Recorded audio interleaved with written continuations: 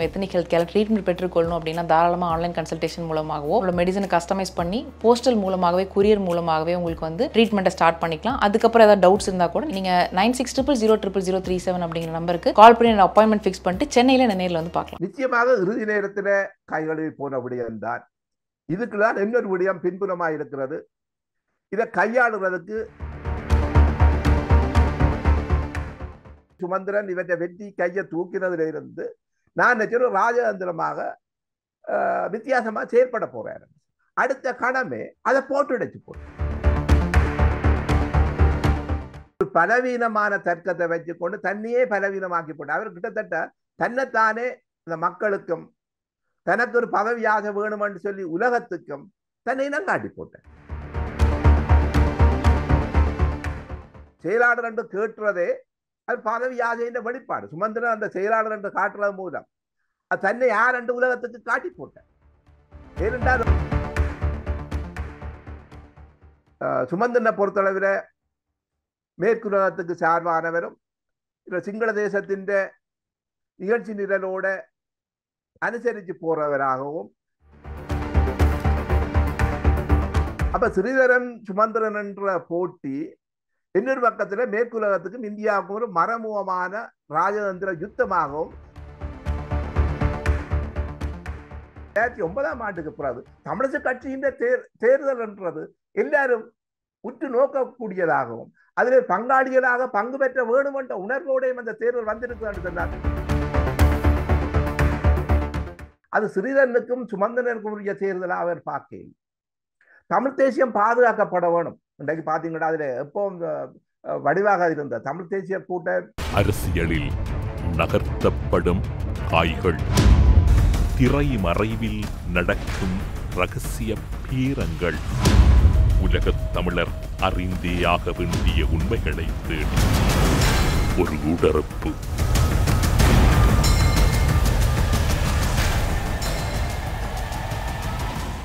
கனடாவில் இருக்கும் அரசியல் விமர்சகர் கிருஷ்ணர் அவர்களை ஊடறுப்பு நிகழ்ச்சியோடு இணைத்திருக்கின்றோம்.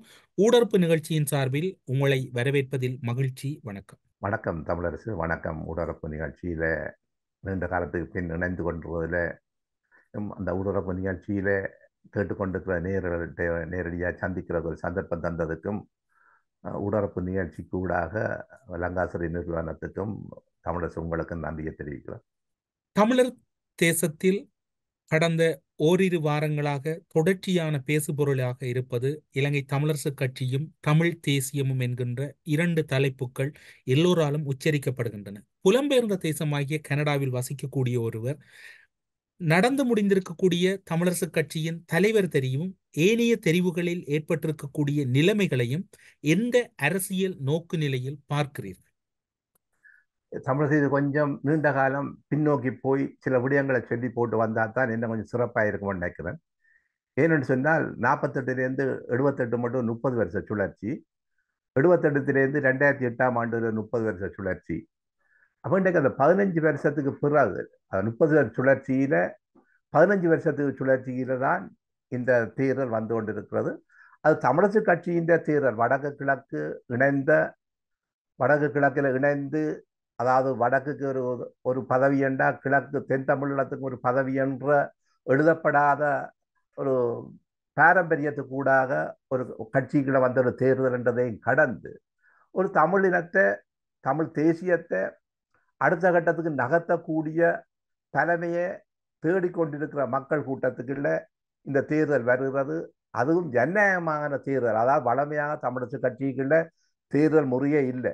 அதாவது ஏகமனதாக ஒரு கட்சிக்குள்ள ஒட்டுமொத்த மக்களின் அந்த கட்சிகளோட அங்கத்தவர்களின் அனுமதியோட வார தேர்தலாக தான் இருந்தது. ஆனால் வித்தியாசமாக இன்றைக்கு ஒரு தேர்தலுக்குள்ள செல்லப்பட்டிருந்தது. அப்போ தேர்தலில் செல்லப்படும் பொழுது கன விமர்சனங்கள் வந்தது.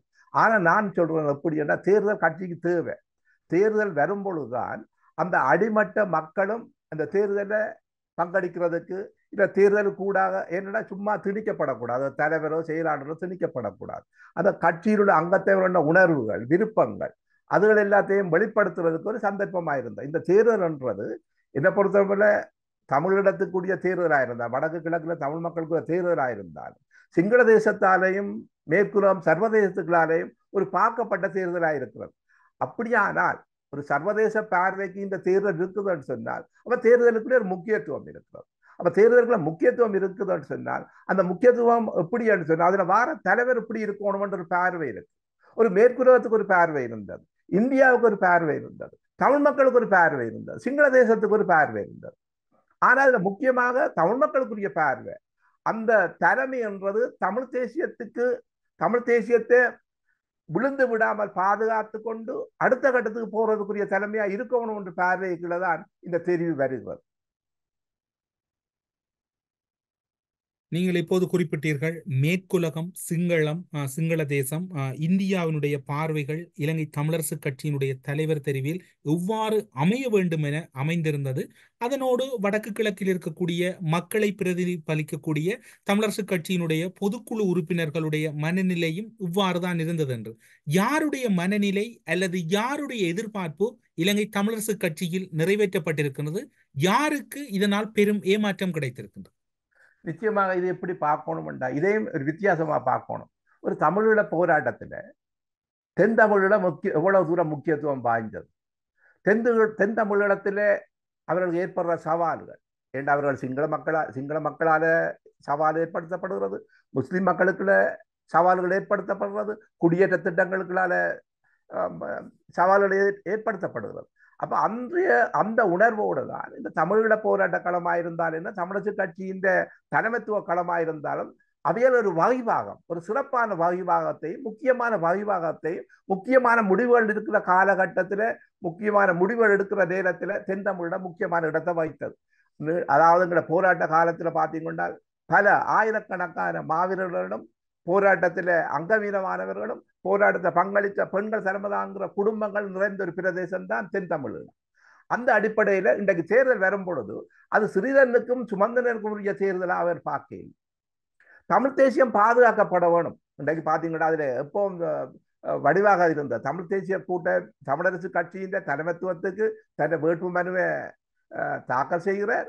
அந்த தாக்கல் செய்து போட்டு யாழ்ப்பாண ஊடக மையத்தில் சொல்கிறார் தன்னுடைய வாக்கு சிறிதனுக்கள் சொல்லிக்கொண்டு அதுக்கு நோக்கம் என்னன்னு சொன்னா தமிழ் தேசியம் பாதுகாக்கப்படணும் என்ற ஒரு கோரிக்கை வைக்கப்படுறது. அப்ப இன்றைக்கு தமிழ் தேசியம் பாதுகாக்கப்பட்டிருந்தால் அந்த தமிழ் தேசியத்துக்கு உழைச்சவர்கள் தென் தமிழீழத்தில் உள்ள உறவுகள்.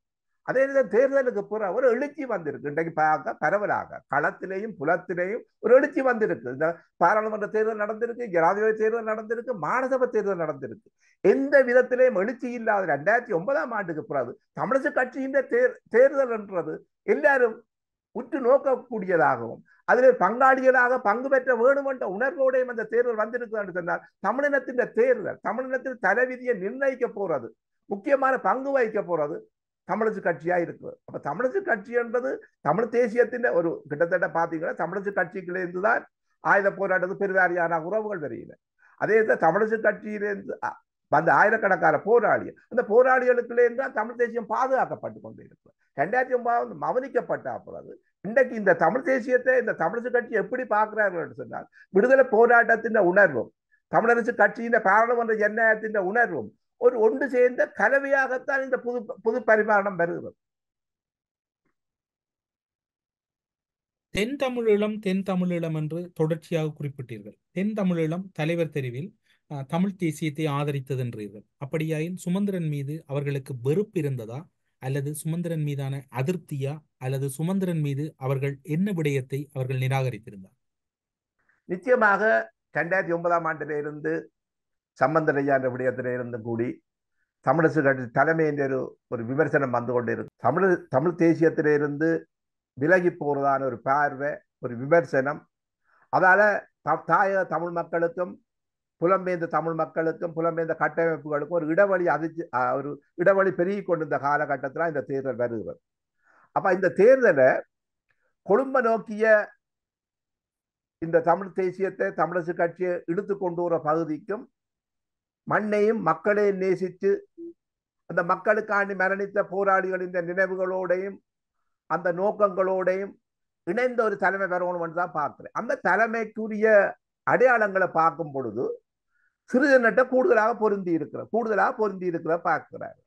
அந்த கூடுதலாக பொருந்தி இருக்கிறது என்ற அடிப்படையில தான் இன்றைக்கு தென்தமிழகத்தில் உள்ள தேசியத்தை நேசிக்கிற அத்தனை உறவுகள் முடிவெடுக்கிறார்கள். தங்களோட வாக்குகள் மூலம் இந்த தமிழ் தேசியத்தை நோக்கி மண்ணை மக்களை நோக்கி பயணிக்கிற ஒப்பீட்டு அடிப்படையில அஹ், கூடுதலான அஹ், மக்களின் தெரிவோடு இருக்கிற சிறிதனை தெரிவு செய்துதான் இந்த அஹ், தமிழரசு கட்சியின் தலைமத்துவ போட்டியாளர்ல சிறிதென தெரிவு செய்து அவைகள் வாக்களிக்கின்றன. ஸ்ரீதரனை தெரிவு செய்வது என்பதற்கும் அப்பால் குறிப்பாக சொல்ல போனால் திரு சுமந்திரன் அவர்கள் ஒரு நேர்காணலிலே குறிப்பிடுகின்றார் இருநூறுக்கு மேற்பட்ட வாக்குகள் எனக்கு உத்தரவாதம் வழங்கப்பட்டிருந்தன தனக்கு அளிப்பதற்காக. அப்படியாயின் ஏன் அந்த வாக்குகள் அளிக்கப்படவில்லை? சுமந்திரன் திட்டமிடப்பட்டு அஹ், கட்சியினுடைய அவருடைய அஹ், நெருக்கமானவர்களால் ஏமாற்றப்பட்டிருக்கின்றனர். நிச்சயமாக என்ன பிரச்சனைன்னு சொன்னால் இதுல வடக்கு கிழக்கிலேயும் ஒரு ஒரு ரெண்டு வருஷத்துக்கு மேலாக மூன்று வருஷத்துக்கு மேலாக அஹ், சுமந்திரன் இந்த தலைமைத்துவத்தை நோக்கி கடுமையாக உழைச்சிருக்கிறார்.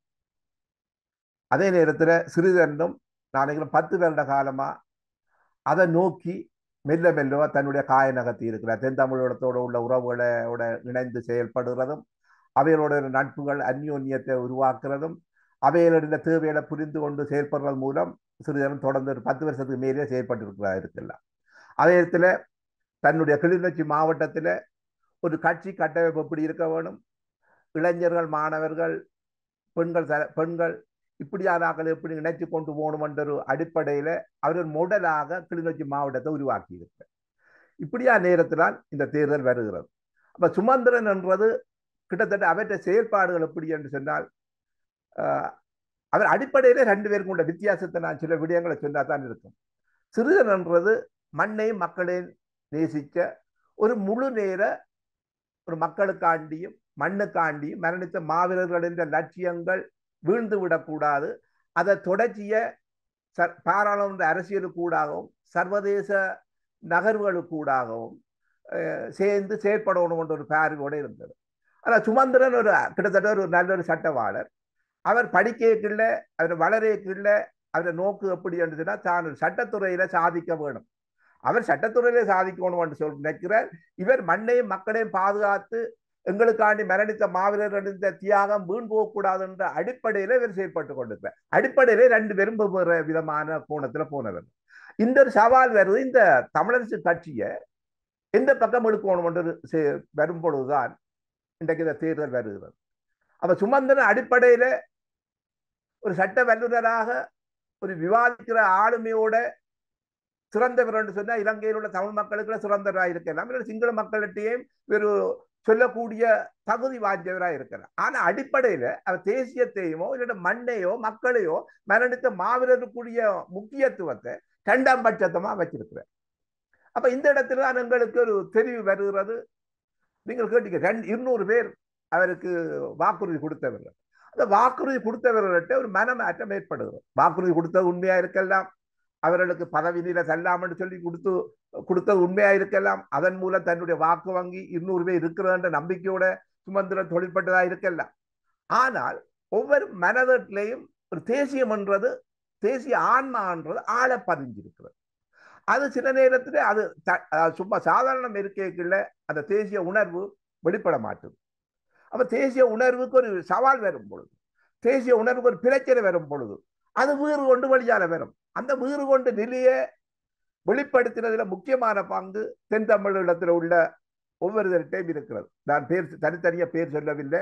என்று அது கூட்டு பொறுப்போடு தான் இயங்கினபடியா ஒவ்வொருத்தர்கிட்டையும் இந்த பொறுப்பு இருக்கிறது. அது ஒவ்வொரு மரங்களிலே உள்ள ஆன்மாக்களை வெளியால் கொண்டு வந்து இருநூறு பேர் வாக்குறுதி கொடுத்தும் அந்த வாக்குறுதி கொடுக்காமல் சிறிதனுக்கு ஆதரிச்சது அங்க தேசியமா தேசிய நீக்கமா இல்ல தேசியத்தை ப பலவீனப்படுத்துறதா என்ற ஒரு கேள்வி வரும்பொழுது தேசியத்தை பலப்படுத்தணும் என்ற கொள்கையில சிந்திச்சு தான் அந்த வாக்குறுதி கொடுத்த இருநூறு பேரும் அந்த வாக்குகளை மாறி போட்டதா நான் பார்க்கிறேன். உங்களுடைய கருத்தினை இப்படி பார்க்க முடியுமா? சுமந்திரனுக்கான வெற்றி வாய்ப்பு என்பது இறுதி நேரத்தில் கை நழுவி போன ஒரு விடயமாக. நிச்சயமாக இறுதி நேரத்துல கைகளில் போன விடயம்தான். இதுக்குதான் இன்னொரு விடயம் பின்புலமா இருக்கிறது. இதை கையாளுறதுக்கு மேற்குலகமோ இந்தியா தன்னுடைய காய நகர்த்தி கொண்டிருக்கிறது. மேற்குலகம் தன்னுடைய காய நகர்த்தும் பொழுது அப்ப மேற்குலகம் இந்தியாவும் இந்திய நலன்களும் மேற்குலக நலன்களும் தமிழ் மக்களின் நலன்களோட எப்படி ஒட்டி உறவாத போடுறது எப்படி அது பயன்படுத்த போற போறதுன்ற ஒரு கேள்வி வரும் பொழுதுதான் இந்த தலைமத்துவத்தில் அதை செல்வாக்கு செலுத்தின. அப்ப ஸ்ரீதரன் சுமந்திரன் என்ற போட்டி இன்னொரு பக்கத்துல மேற்குலகத்துக்கும் இந்தியாவுக்கும் ஒரு மறைமுகமான ராஜதந்திர யுத்தமாகவும் தங்கள் செல்வாக்கு உள்ள பிரதேசத்துக்குள்ள செல்வாக்கு செலுத்தக்கூடிய தமிழிசு கட்சியின் தலைமத்துவத்தை தனக்கு சாதகமா கையாளக்கூடியவரை தெரிவு செய்யணும் என்ற ஒரு அழுத்தங்கள் கூடி ஒரு செயற்பாடுகள் கூடி வந்ததா பார்க்கலாம். இதுகள் கூடி அந்த இருநூறு பேற்ற மனமாற்றத்துக்கு ஒரு முக்கியமான காரணியா இருக்கலாம் கருத்து உங்களுடைய கருத்தை பார்க்கின்ற போது தமிழரசு கட்சியினுடைய தலைவர் தெரிவில் ஆழ ஊடுருவிய மேற்குலகும் இந்தியாவும் என்கின்ற கருத்து புலப்படுகின்றது.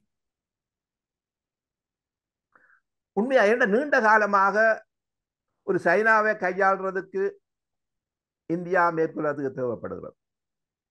ஆயிரத்தி இலங்கையில தன்னுடைய செல்வாக்கை செலுத்துறதுக்கு இந்தியா மேற்குலகம் ஒரு சின்ன ஒரு முரணுக்குள்ள தான் போய்கொண்டே இருக்கிறது. அதாவது ஒரு ஒரு நட்புக்குள்ள தங்களோட நலனை முன்னிலைப்படுத்தி தங்களோட கட்டுப்பாட்டு கொண்டு வரணும் ஒரு செயற்பாட்டுக்களை இயங்கும் பொழுது அந்த இயங்குறதுக்காண்டி தான் விரும்பினவர்களை தெரிவு செய்கிறதுக்காண்டி அந்த விரும்பினவர்களை தெரிவு செய்யக்கூடிய வலுநிலையில தமிழ் மக்களின் ஒரு பகுதி இருக்கிறதால அந்த தமிழ் மக்களின் வாக்குகளோ தமிழ் மக்களுக்கு தமிழரசு கட்சியின் தலைமத்துவம் அதை ஆளுமை செலுத்தும் இல்லை செல்வாக்கு செலுத்தும் அந்த அவர்களை தங்களுக்கு சாதகமாக கையாளணும்ன்றதுல காயநகத்தி இருக்கலாம் பார்க்கலாம் ஆனால் கடந்த காலத்தில் பார்த்தீங்கன்னு சொன்னால் சுமந்தனை பொறுத்தளவில் மேற்குலகத்துக்கு சார்பானவரும் இல்லை சிங்கள தேசத்தின் நிகழ்ச்சி நிரலோட அனுசரித்து போறவராகவும் சிங்களத்தோட அனுசரிச்சுத்தான் தமிழ் மக்களுடைய உரிமையை பெறலாம் என்ற ஒரு சித்தாந்த எண்ணம் கொண்டவராகவும்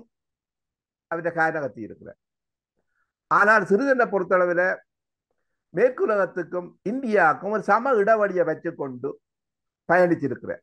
இப்ப இந்தியாவுக்கு நீண்ட காலத்துல கடந்த காலங்களை பார்த்தீங்கன்னா சிறிதனை பொறுத்தளவில் நல்ல ஒரு அபிப்பிராயம் இல்லை. ஒரு இடவழியை வச்சுத்தான் ஒரு தூரத்தை வச்சுத்தான் அவரோட காரணகத்தினர் அவைகளுக்கு பல தெரிவு இருந்தும் அந்த பல தெரிவுகள் கைகூடாத நிலையில தான் கடைசியாக சிறிதனை கையாளி அப்ப சிறிதன் அடிப்படையில தமிழ் தேசியத்தையும் தமிழ் மக்களையும் எங்களுக்காண்டி மரணித்த மாவீரர்களை மனதில் நிறுத்தி தான் எந்த விஷயம் நகர்த்தி கொண்டே இருக்கிறேன்.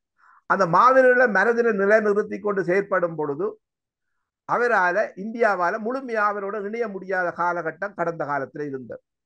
ஆனால் இந்தியா கடந்த காலத்தில் தனக்கு சாதகமானாக்களை அணிதிரட்டுறதுக்காண்டி வெவ்வேறு வழிவகைகளை பார்த்து தோல்வி அடைந்த பிறகுதான் இந்த சுமந்திரனோ சிறிதனோண்டு வரும் பொழுது ஒப்பீட்டு அடிப்படையில் சிறுகரனோட இணைஞ்சு பயணிக்கலாம் என்ற முடிவுக்கு வந்துதான் இந்த நகர்வை செய்தா நான் பார்க்கிறேன். இப்போது இருக்கக்கூடிய சூழ்நிலையில் நீங்கள் கூறிய ஒரு விடயம் வெளிப்படையாக தெரியாவிட்டாலும் அவை உங்களுடைய அவதானமாக இருக்கின்றது. மேற்குலக ரீதியான ஒரு பின்னடைவு அல்லது மேற்குலகினுடைய அபிலாஷைகள் அங்கு பூர்த்தி செய்யப்படவில்லை என்பதையும் உங்களுடைய கருத்திலே நீங்கள் புலப்படுத்தியிருந்தீர்கள். இப்போது தமிழ் தேசிய கூட்டமைப்பு தமிழரசு கட்சியாக இருக்கின்றது. தமிழரசு கட்சியும் இன்று பல்வேறுபட்ட கூறுகளாக அல்லது அணிகளாக பிரிக்கப்பட்ட ஒரு சூழ்நிலை இருக்கின்றது. இவை தொடருமா? அதனால் தமிழரசு கட்சி இழக்கப் போகின்ற விடயங்கள் என்ன? நிச்சயமாக இது தமிழரசு கட்சி ஒரு பாய்ச்சலாக இருக்க போகுது.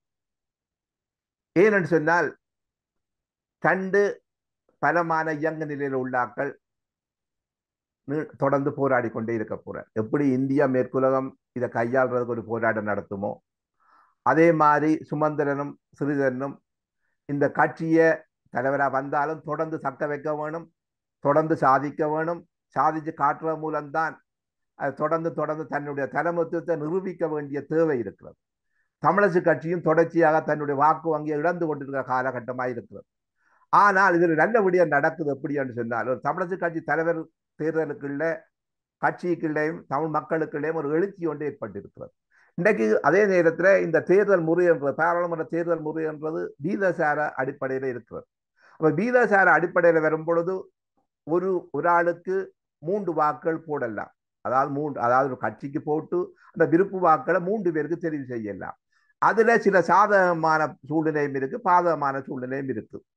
தன்னுடைய வாக்கு வங்கியை தக்க வைக்கணும்னு சொன்னால் தமிழரசு கட்சிக்குள்ள தமிழ் மக்கள்கிட்ட ரெண்டு பேருமே இறங்கி வேகமா ஓட வேண்டிய தேவை இருக்கு அப்ப கூடுதலாக கட்சிக்கு ஆக்களை சேர்க்கிற பக்குவம் என்ன போது ரெண்டு இனி வரும் காலத்தில் ரெண்டு பேரும் போட்டி போட்டுக்கொண்டு கட்சி கிளைகள் அமைக்கிறதும் கட்சிக்கு உங்களுடைய. கருத்தை பார்த்தால் கட்சியை போட்டி போட்டுக்கொண்டு சொன்னால் ஒரு தலைவருடைய கட்டுப்பாட்டை மீறி சுமந்திரன் ஒரு அணியாகவும் ஸ்ரீதரன் ஒரு அணியாகவும் செயற்படுவது என்பது கட்சியினுடைய வளர்ச்சி என்பது அது உங்களுடைய புரிதல் பிழையாக இருக்கின்றது அல்லவா. சுமந்திரனு சுமந்திரனுக்காக கதைக்கிறீர்களா? அல்லது தமிழ் தேசியத்துக்காக கதைக்கிறீர்களா? கிருஷ்ணர் யாருக்காக கதைக்கிறார்? நிச்சயமாக இன்றைக்குமே நான் சுமந்திரனுக்காண்டியோ இல்லடா ஆனால் உங்களுடைய கருத்தை பார்க்கின்ற. போது ஸ்ரீதரன் சுமந்திரனை அரவணைத்து செல்ல வேண்டும் அல்லது ஸ்ரீதரன் இருவரும் சேர்ந்து வளர்க்க வேண்டும் என்றால் ஒருவர் வெற்றி பெற்றிருக்கின்றார் இன்னும் ஒருவர் தோல்வியுற்றிருக்கின்றார் என்றால் அந்த தலைமையை பின்பற்றி செல்வதா? அல்லது இருவரும் இரு துருவங்களா கட்சியை வளர்ப்பதா? இல்ல எப்படி என்று சொன்னாலும் அந்த முடிவு அதாவது உதாரணத்துக்கு பாத்தீங்கன்னு சொன்னா ஒரு மா- மாட்டு வண்டியை அஹ், மாட்டு வண்டியில முதல் பூட்டிங்க ரெண்டு மாட்டை பூட்டிங்க இரண்டு மாடும் சமனாக சீராக ஒத்துழைத்தால் தான் அந்த வண்டியை அந்த அந்த வண்டியை செலுத்துகின்றவரால் சரியாக கொண்டு செல்ல முடியும். நீங்கள் கூறுகின்ற விடயம் இப்போது அங்கு இடம்பெற்ற பல தெரிவுகள் கூட ஒரு குழப்பத்துக்கு காரணமானது யார் என்பது உங்களுக்கு தெரியும். அப்படி இருக்கின்ற போது ஸ்ரீதரன் ஒரு பாட்டிலும் சுமந்திரன் ஒரு பாட்டிலும் கட்சியை வளர்ப்பார் என்றால் இது என்ன தனி மனித சொத்தாகவா நீங்கள் பார்க்கிறீர்கள். இங்கதான் இங்கதான் ஒரு தேர்தல் முறை இருக்கு. என்ன தேர்தல் முறை? அதாவது வீதாசார தேர்தல் முறை விருப்பு வாக்கள் மூன்று பேருக்கு போடும் பொழுது பாத்தீங்கன்னு சொன்னால் நீங்க சொன்னீங்களா ஒரு நாடாளுமன்ற. தேர்தல் எல்லாம் இப்போது நடந்து முடிந்தது. இலங்கை தமிழரசு கட்சியினுடைய தேர்தல் தலைவர் தெரிவுக்கான தேர்தல். ஆனா தலைவர் தேர்தலா இருந்தாலும் அதுல நோக்கம் பாராளுமன்ற அரசியலும் மாநசபை அரசியலும் பிரதேச அரசியலும் தான். அந்த பிரதேச சபை அரசியலுக்கும் பொழுதும் அந்த அந்த கட்சியின் தொண்டர்களை இணைக்கிறதும் கட்சி கட்டமைப்பை பலப்படுத்துறதும் அவர்களுக்கு தேவை. எப்படி என்று சொன்னால் ரெண்டு பேரும் சமனா ஓடும் பொழுது அதாவது வண்டி எப்படி என்ற ஒரு ஆள் ஓடையக்குள்ள ஒரு ஆள் ஓடாமல் உங்களுடைய கருத்தை. பார்க்கின்ற போது ஸ்ரீதரன் தன்னுடைய தலைமைத்துவத்தை எடுத்தால் கூட அவர் சுமந்திரனோடு சார்ந்து செல்ல வேண்டும் என்பது கிருஷ்ணருடைய மறைமுக கருத்து. அதாவது இணைந்து செயல்படுறதும் சார்ந்து செயல்படுறதும் அடிப்படையில வித்தியாசம். ஒரு தடவை என்ன பொறுத்தளவு சிறிதனம் சார்ந்து இணை- சார்ந்து செய- செயல்பட மாட்டேன். ஒரு ஆனா வெற்றி இணைந்து பெற்ற ஒரு தலைவரை நீங்கள் வேலை. செய்ய விடாமல் தடுப்பது போன்று இல்லையா உங்களுக்கு கிருஷ்ணர் அவர்களே?